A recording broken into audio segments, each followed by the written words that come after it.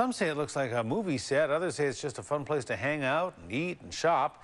And now the Canadian Institute of Planners agrees that it is a great street. The organization has named Commercial Street in Nanaimo as the best street in the country. The Harbour City was singled out in the first ever competition to identify great places in Canada. A News reporter Steve Colterman has the story.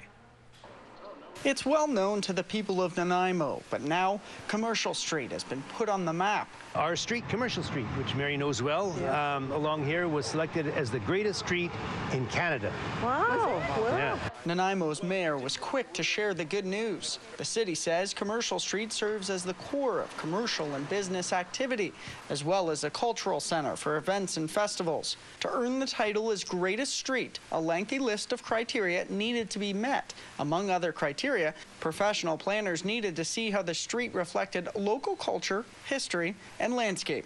This isn't really a, an overnight success. Um, remember that uh, the city of Nanaimo started revitalization down here in, in 1983, 84, and it's been a work in progress ever since. It's very old-fashioned and low-key and user-friendly. It's just quaint, all the old little shops and stuff.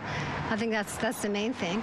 I think there's lots of variety here, lots of different kinds of shops, so it's a fun place to shop and pop into different stores. Commercial Street is a people place lined with restaurants and shops an attraction to visitors and to the people of Nanaimo. The mayor says the street's latest recognition just proves the city is headed in the right direction. What we're trying to do is establish orderly growth and uh, try to pattern so that uh, there's a little something for everyone.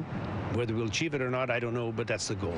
Well, Nanaimo has the greatest street in Canada. The Snaw-Naw-As, Nanoose First Nation in Lantzville is recognized as the third greatest neighborhood in the country. We've been able to put up a million liter water system build 30 houses, and uh, try to offer some uh, services and programs to the youth and the elders. We have a big lacrosse box that we're in the middle of building right now, and uh, you know, recreational opportunities and any sort of opportunities uh, for the youth, um, you know, are um, really important. Hard work by both the city of Nanaimo and Snaw-Naw-As, Nanoose First Nation, has paid off. Both are satisfied with their accomplishments, but are looking to the future. In Nanaimo, Steve Colterman, A News.